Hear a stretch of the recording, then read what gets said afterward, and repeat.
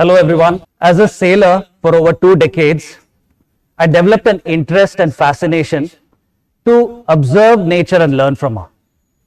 Today, I want to share through my personal journey a nature's toolkit of framework that I created for myself to help me make better decisions and take more effective actions. These lessons from the seas, storms, rivers, and forests have helped me make better choices for my health, my finances, in my profession, and in my business now. During my teen years, around the age of 14, I had this deep desire to sail on the seas. And I realized to do that, one had to join the Navy. It didn't matter to me whether I joined the Indian Navy or the Merchant Navy. All I wanted to do was sail on the seas. It didn't matter to me if I sailed as captain, cadet, or crew. All I wanted to do was to sail on the seas. Looking back, my burning desire to sail on the seas almost felt like a river's desire to seek the ocean. Imagine you're a river. So, what's your ultimate desire? To seek the vast, boundless ocean or the sea, right? The river being your desire and the ocean your goal. The river starts its humble beginnings high up in the mountains, like your thoughts, but its journey is filled with adventures. Initially, like a tiny trickle, the river goes through gently downhill, later meandering through rocky terrain, all the challenges that will come in your life, through lush meadows and multitude of other adventures before it reaches the ocean. What would happen if the river were to stop at every boulder and say, sorry, can't go ahead, boulder ahead. But instead, what does it do? It simply goes around it, over it, under it, keeps seeking the ocean. What would happen if the river were to stop when it has to cut through a dark, dense forest? Would it get scared and stop? It would simply cut through this forest, again seeking the ocean. Let's apply this river's wisdom to our lives. To navigate life more successfully, you need to have the clarity of your desire or what you're seeking like the river. You need to pursue your goal like the river. You need to overcome your obstacles like the river. I've observed that there are three lessons that nature gives us that can help us succeed in our goals. The first lesson is find your burning desire, and that means find that spark. Find, be clear about that burning desire because this will help you choose your career, choose your profession or your life's path. A burning desire that isn't someone else's but your own. Again, you may choose to do nothing about your burning desire, but that's a choice. Is burning desire alone enough to succeed? No. So, the second lesson from the river or the nature is follow it with relentless action. That means go take, be ready for those difficult moments. Be ready to do the hard work because only then can you achieve it. That means leave no stone unturned until you achieve your results. In my pursuit to join the Navy, I faced many challenges. No one in my family or friends knew how to join the Navy, and I had no clue either. So I would spend many weekends visiting bookstores to read up books, talking to the store manager, or just about anyone I would ask them for guidance. Apart from studying hard, I would also spend time doing things that I thought would help me get into the Navy, like improving my physical fitness or uh, learning swimming, reading self help books. So I thought I could embrace a more positive mindset.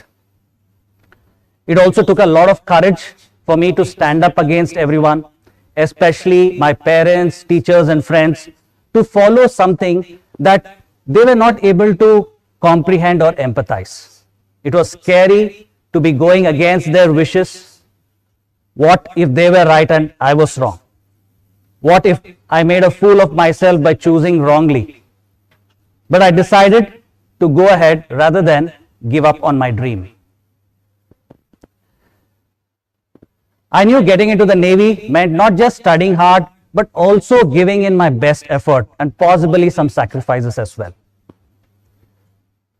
One of the sacrifices, as I remember, was to give up watching television because I was getting hooked to it. And I realized that if giving up this little pleasure meant a higher chance of getting into the Navy, then I was willing to take it. The only real power that you have is over your effort and your time and what you do with it. I've seen many times people give up on their dreams or goals because they don't see immediate results, and I'm no exception to it. And I have to constantly keep reminding myself of the nature's way of life, of taking relentless action and keep trying. The third lesson from nature is to take the path of least resistance.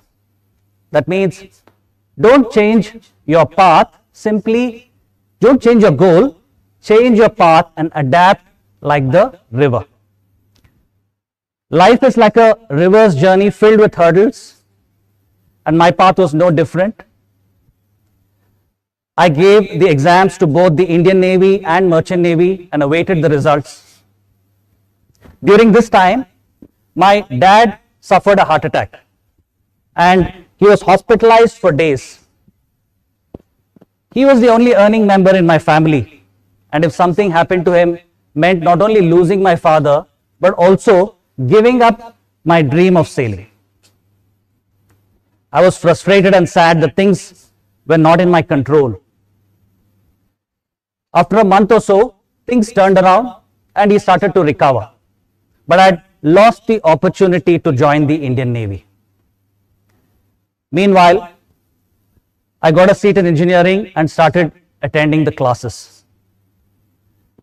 I wasn't happy because my heart wasn't into engineering, but I wasn't going to waste my time either. I had already started thinking and planning how I could give the exams better next year, how, how I could get into this Navy. Mentally, I was prepared to keep trying year after year to get into the Navy or until I couldn't do it because of the age bar. A few months into engineering, I got a letter saying that I got selected into the Merchant Navy. I was overjoyed, ecstatic, beaming with a smile. I was also scared and skeptical. What if my parents didn't support this decision? What if they turned it down? I had many heated conversations with my parents on how important this was for me and that I was willing to take full responsibility for my choices and the consequences even if things didn't turn out well. People around me advised that it would be foolish for me to give up my engineering because I had gotten into a good branch in a good college, all of which meant campus placements and later job opportunities abroad. I had three choices before me. One, to continue with my engineering. Two, to try again for the Indian Navy next year. Or three, to take up a career in Merchant Navy. It was a difficult decision, especially as a teenager, and I, I was filled with doubts. So I asked myself one question What is it that I really wanted in life? and which of these options was going to get me there faster and sooner. So I took the path of least resistance. I gave up my seat in engineering and set sail as a merchant navy cadet, working my way up to become the captain. The path of least resistance does not mean breaking or bypassing any laws, moral, legal, ethical. The path of least resistance does not mean taking the easy way out because you are lazy or scared. the path of least resistance means that a path that comes readily to you when you have been trying and trying, but you are stuck somewhere, or maybe you're ready to quit. This path may come as a new path to you, as an opportunity, as an advice, as a mentor, someone stepping up to help you, or a new option that opens up that you didn't know exist before. The common thing that I've observed is people get stuck to their path in the pursuit of their goal or give up on their goal because it seems impossible to achieve via their path. The nature's lesson is don't change your goal, simply change your path and adapt like the river.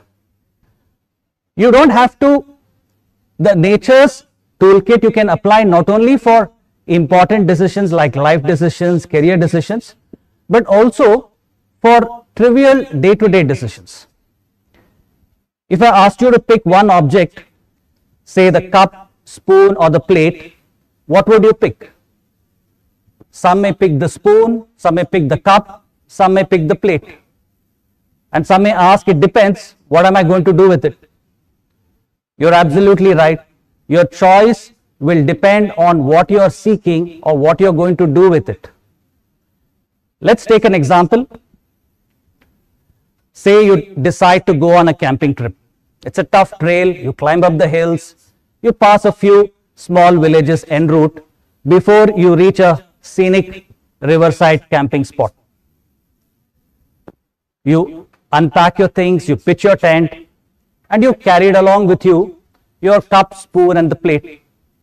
And most of all, you're looking forward to sitting by this riverside, watching the sunset, and drinking this hot cup of coffee. But you soon realize the cup is broken. It leaves you a little frustrated and angry that things aren't going as planned. And there are a few choices before you. One, don't drink the coffee, give up, it's simply not meant to be. Two, you're not someone who gives up easily, so you decide to walk to the nearby village and get yourself a cup. Three, you decide to pour this hot coffee onto your plate and slurp it away. Let's say you go with option three because your goal was to drink coffee watching the sunset by this riverside. It was not exactly to drink from this cup or that cup. So you took the path of least resistance which could get to your goal. When you adopt this nature's toolkit, I've noticed that you will be much more happier and content. You will accomplish your goal much faster. You will complain less and you will develop the quality of adaptability and resourcefulness, a vital 21st century skill. Maybe you're already taking such an option, accidentally perhaps, or maybe a friend or a family member takes this approach. What I'm doing here is giving it more shape and form to a wisdom that already exists amidst us. So such moments are not occasional or by chance. You can now use this framework more consistently, deliberately and mindfully to make better choices and take more effective actions. Nature is full of such wisdom. Observe a tree standing tall in a forest. What's its goal? To seek that life-giving sunlight. Have you observed how trees have sometimes bent around houses or bent around other trees or rocks? All the while seeking sunlight. Ideally, a tree would like to grow straight up. Who doesn't? But when there is an obstacle in its way, what does it do? It doesn't stop or complain. It simply changes its path and takes the route of least resistance to get to its goal, sunlight. To apply this wisdom in your life, you need to be first clear of what your burning desire is. It doesn't have to make sense to anyone else, but it should be your own. Because then you will be able to choose your course or college. You will be able to choose where to intern. You'll be able to choose what to start as your entrepreneurial journey. You'll be able to know how to decide in your profession or in business. My burning desire was to sail on the seas. And after 20 years of sailing and becoming the captain, this deep desire was met. A few years back in 2016, a new desire emerged to help people find their spark and help them carve their own path of destiny. This vision led me to start my own organization and educational initiative. This meant I had to change my path from being a sailor to an educator, entrepreneur, and a coach. Today I flow like a new river, scary at times at what lies ahead because this is a new journey to me. Sometimes stormy nights at sea seem more familiar and comforting. But I know that this is a different journey and there are new choices which come before me which I'm unfamiliar with. And each time I try to adopt the nature's framework for myself. To become the captain of your life, to steer your own life course the way you would like it to go, you need to first take responsibility for your choices and consequences. Because once you do that, you'll be able to accomplish your goals much easier, no matter how daunting it appears at first. Nature's wisdom has been tried and tested by nature itself and is one of the easiest guides for you to become a creator of your own destiny or to succeed in your goal. Follow the three lessons of nature. One, find your burning desire. Two, follow it with relentless action. And three, take the path of least resistance where you must. Don't change your goal, simply change your path and adapt. Thank you.